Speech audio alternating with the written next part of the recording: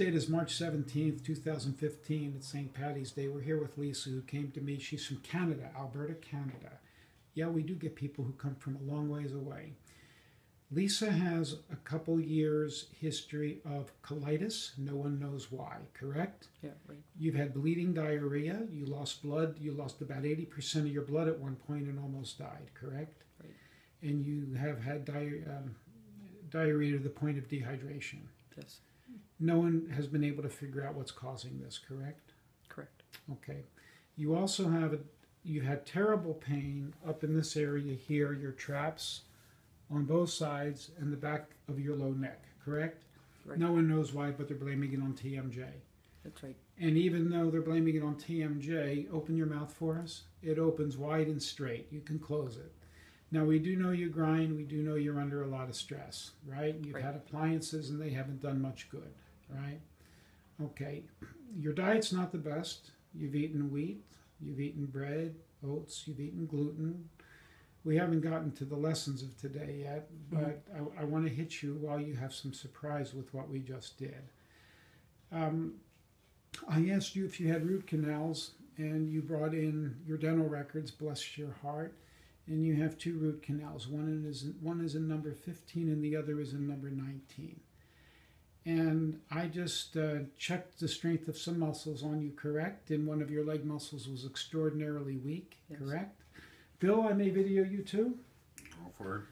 And Bill, I actually, you saw this and I used you as a surrogate too. And when we had her touch tooth number 19, you noticed a huge change in strength, right? Oh, definitely. There was no doubt. You felt it yourself, correct? Yes. Okay. And I have your permission to video this, yes? This Yes, you is do. going to go on YouTube with your permission. Yes. Thank you. And your permission. Yes. Thank you. So what we just did, and you don't know what I did yet, but we did it, was I first injected a little bit of numbing medicine into tooth number 19. Mhm. And then what happened to you? I had lost all the pain in the back of my neck and my jaw. And you've had pain there 24/7, correct? Yes. 24/7 for years, Yes. correct? Since the 80s. Were you shocked that this happened? Terribly so. I still don't have the pain. I mean, like right now, you still don't have the pain. I mean, right. and you're shocked that you lost it. But then, just a moment ago, you said something interesting to me about the dentist. You want to say it? Uh, yes, the last time I was at the dentist, I had the freezing to do uh, um, a filling, and I noticed at that time too that I didn't have jaw pain, and Yep. I never really put it together. Not only jaw pain, you didn't have neck pain. That's right. The jaw and the neck pain disappeared, correct? Yes. And you didn't put it together. It took maybe me to do that, yes, huh? it did. All right, now I wanted you to come over here and I want to look at the expression on your face when you see something. That's tooth number 19. That's right there. So I want everybody to see what that organ that refers to, and I want you to read. What that refers to. Large intestine. Large intestine. Yeah. Right? Wow. What do you, wow. what are your comments now? I didn't know teeth had anything to do with your your organs. I know. Yeah. Is this a surprise to you? Oh, it's a huge surprise. I knew the feet and and Yeah. we had pressure points. Let me show you also something here. This is tooth number 19, and here's what I want you to look at as well. Now, I hope I can get that on here. C is cervical. Cervical 5, 6, and 7. That means that's your neck. To- Come over here for lighting purposes, please. For lighting, for the fifth, so it's the lower C spine down here where my finger is that tooth is related to that those spinal segments. oh, it has to. Any thoughts on what just happened to you? Oh, it was unbelievable. It matches. Yep. Right? Turn your head to the right, to the left. Now, you had good range of motion before, but it's significantly better now, especially to the left side. and no pain. And no pain. And no pain. Bend your head back. That is even far better than when you came in, which wasn't bad to begin with, and bend it down. And you can touch your chin to your neck and no pain. Yeah. Well, I had still a little bit, but I mean, it's nothing that, not even close. 90%, 95%? Gone? Yes. Yeah, okay, Yeah. that's good enough for me. Yeah. All right, uh, for you and for the viewer. That your root canal, a root canal is a dead tooth. It's in an acupuncture meridian. Each teeth are related to acupuncture meridians. That meridian happens to be lung, large intestine. That tooth antedated the onset of your terrible colitis. And it's in a total, it's in a terrific distribution, not only for the colon, but also possibly for all of your neck pain. Now, I didn't expect all the pain in your head to go away, the TM. Maybe the shoulders, yes, but not the TM. Additionally, you had an extraordinarily weak muscle in your leg. It's called the tensor fascia lata, which I was trained by chiropractors, and it's in the book, is related to the large intestine. And what happened to that muscle? Um, It got strong instantly, definitely. Really strong, right? And even your husband was surprised by that too. Yes, he was. Okay.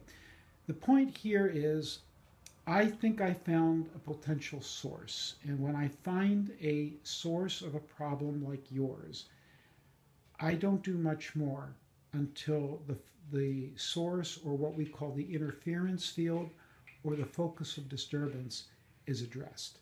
This is a dental problem from my perspective now. And a root canal is a dead tooth. It's disrupting the flow of energy and harmonics in the large intestine meridian, which could be related to your colitis. I don't know for sure, but we won't know for sure until this is checked. As far as I'm concerned, right now you have an infection in that tooth, at least number 19 and I think number 15 as well, because it checked positive, and I'm going to want you to go get that checked out. Are you willing to do that? Yes, I am. And um, this is something that I want to post on YouTube because I'm trying to teach lots and lots of people about this. Am I making sense to you? Yes, you are.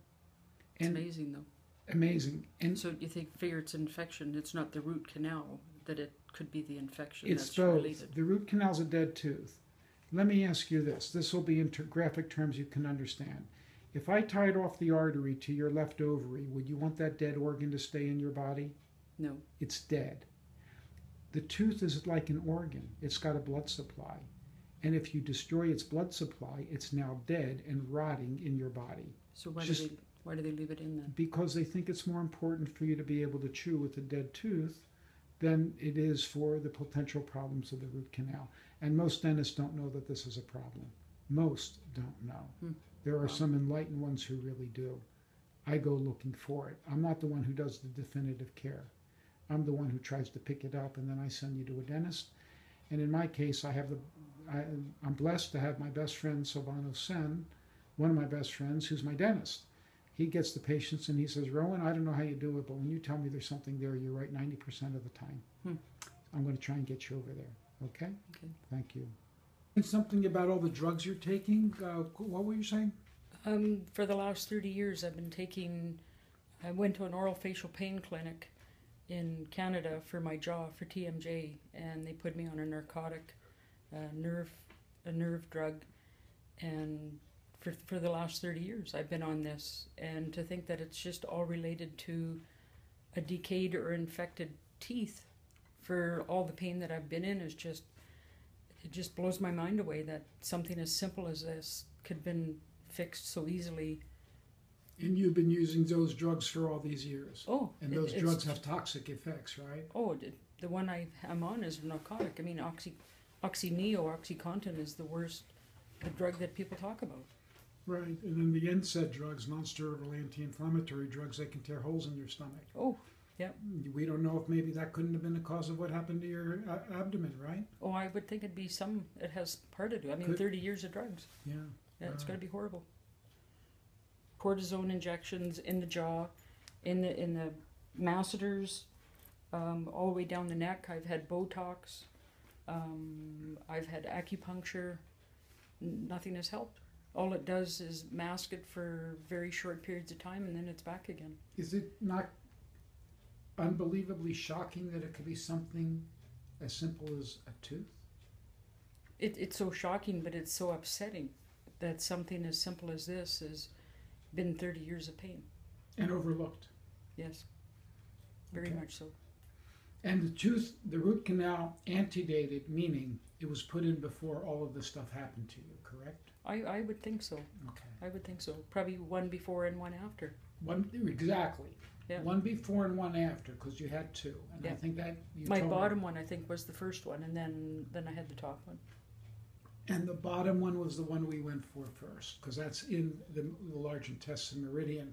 Yeah. The top one is in the stomach meridian, and you're checking positive there too. So you're Yeah. nailing your whole intestinal tract according to this German acupuncture model. Yeah. Thank you for allowing me to photo you. Thank you.